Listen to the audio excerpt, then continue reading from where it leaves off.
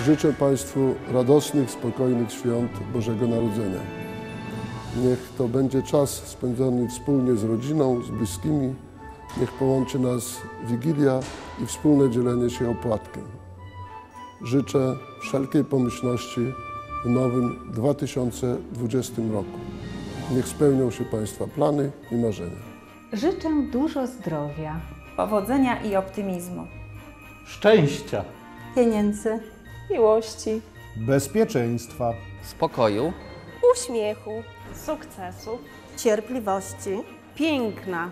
dobrej formy. trafnych decyzji. Wesołych!